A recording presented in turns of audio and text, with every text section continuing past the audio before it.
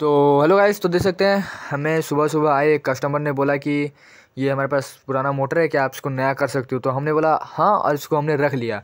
और उन्होंने हमें टाइम दिया है शाम तक का, ठीक है। तो हमने जैसे कि इसको ग्यारह बजे लिया था तो शाम के चार बजे, पाँच बजे तक इसको रेडी करके देना है जैसे भी करे ठीक है।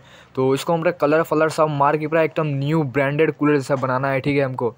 तो इसका ब्लेड व्लेड सब नया लगने वाला है, क्योंकि ये ब्लेड लगा देंगे तो कूलर भाई साहब इतना हिलेगा ना। आवाज़ नहीं, बहुत आवाज़ आएगा कूलर में, ठीक है?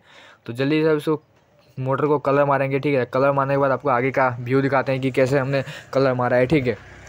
तो देखिए, मोटर को हम कलर मार चुके हैं पूरे सिल्वर कलर में, ठीक है? हमारे पास कलर का शॉर्टेज हो गया था गैस तो इसको एक ही कलर में हमको कलर करना पड़ा। तो ठीक है, अब इसको फिटिंग करना है। देखिए फिटिंग चल रहा है इसका। चक्का वक्का सब लग चुका है इसमें, ठीक है? तो वो फिटिंग करने के बाद आगे का आपको पूरा व्यू दिखाते हैं, ठीक है? तो ये देखिए बन चुका है इसका पूरा। ओके रोकेट पर नया कूलर बन चुका है कस्टमर का, ठीक है? ठीक है तो अगर आपको भी ऐसा कूलर बनाना है तो हमें मैसेज करें, ठीक है? तो देख सकते हैं आप कूलर का व्यू पूरा मस्त तरीके से कूलर रेडी हो चुका है।